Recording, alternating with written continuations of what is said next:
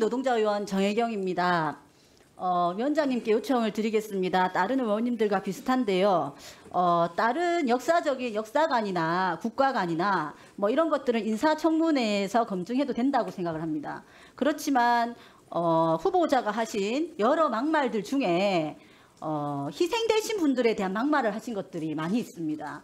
적어도 그 희생되신 분들에 대해서는 사과부터 하시고 어, 이것을 진행해야 된다고 생각이 들고요. 어, 후보자님께서도 답변서에 분명하게 어, 유감의 표시를 하셨습니다. 그러면 어려운 것 아니라고 생각하고 먼저 희생되신 분들에 대한 예의로 예, 이 사과부터 하시고 인사청문회 시작하는 것이 맞다고 생각합니다. 이상합니다. 아, 저그 위원장님. 인사드릴 말인데요. 아니, 아. 아니, 이제 네, 네, 발언 발언하세요. 이걸 정혜영 의원님 지금 저기 뉴라이더 기생충 좀 보여주세요. 저거 좀 보여주세요. 이건 띄게 해야 되는 거 아닙니까? 발언권 바꿔 말씀하세요.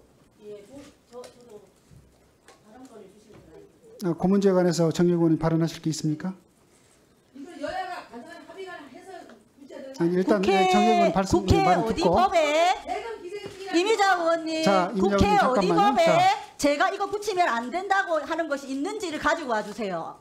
어, 저는 초선 의원인데요. 21대 국회에서 본회의장에서도 모두가 이걸 들고 있었습니다. 여야 똑같이. 그지요? 그리고 법사위에서도 이것을 들고 자, 있었습니다. 정혜- 정- 그럼에도 불구하고 자, 정혜경 의원님 발언 중이니까요. 일단 들어봅시다. 네. 국회법 위반하지 마세요. 지금 147조 위반입니다, 의원님. 그래서 제가 왜 이것을 붙이면 안 되는지 법을 가지고 오시면 제가 떼겠습니다. 법 가지고 오세요. 실장님 확인하세요. 자, 그러면 정혜경 의원님이 저 붙인 거에 대해서는 한번 예, 국회법 여부를 제가 검토를 하기로 하고. 자, 우선 저기 김지영 간사님. 네, 말씀해 주십시오. 예, 어,